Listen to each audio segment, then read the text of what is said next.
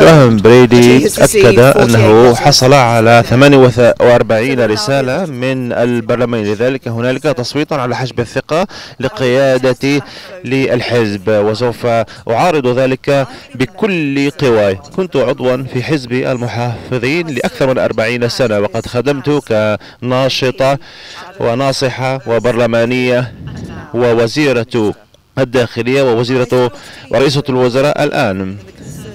أصبحت قياديا لأنني آمنت برؤية الحزب.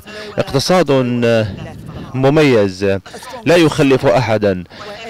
مجتمعا قوي يمكن للجميع أن يطلق العنان لمهاراتهم في خدمة الوطن. وفي هذه الفترة المفصلية هذا يعني الوصول إلى صفقة البريكزيت تفي بالاستفتاء الذي أجرى في بريطانيا. أن نضبط حدودنا وقوانيننا ومالنا وحماية وظائفنا وأمننا ووحدتنا أيضا.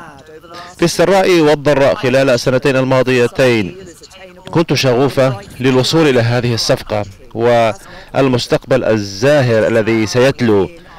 وهذه الصفقة في أيدينا.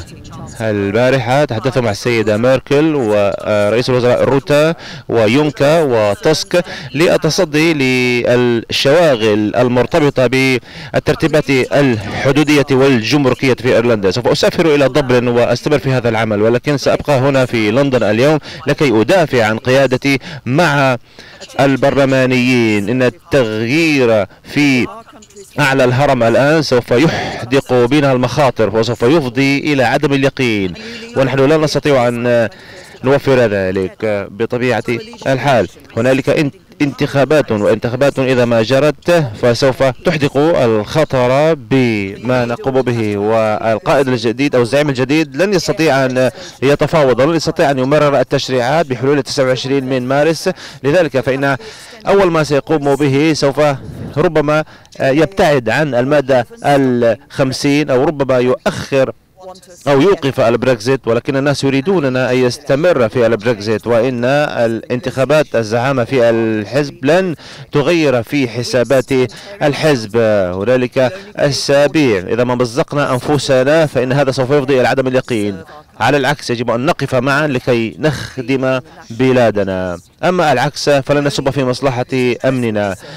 أولئك كجيريمي كوربين وجون ماكدونالد سوف يستفيدان من ذلك. أما البريطانيون فيريدوننا أن نستمر في مسعانا لكي نركز على القضايا المهمة الأخرى لكي نبني اقتصادا مميزا. أن نوفر خدمات ذات طراز مميز وأن نبني المنازل وأن نوفر الخدمات. هذه هي أولويات الشعب وأولويات حزبنا ويتعين علينا ويجب أن نفي بالاستفتاء ويجب أن آه، نبتهل هذه السانحة. آه، حزب المحافظين يتعين أن يكون حزبا للأمة بأسرها. المعتدلون والبراغماتيون وذوو الاتجاه السائد ملتزمون لإعادة توحيد بلادنا ولكي نبني بلدا يخدم الجميع. الأجندة التي وضعتها في آه، خطابي الأول آه، أمام هذا الباب كان كان مرتبطا ببناء بلد للجميع. كان مرتبطا بالإيفاء بنتائج الاستفتاء.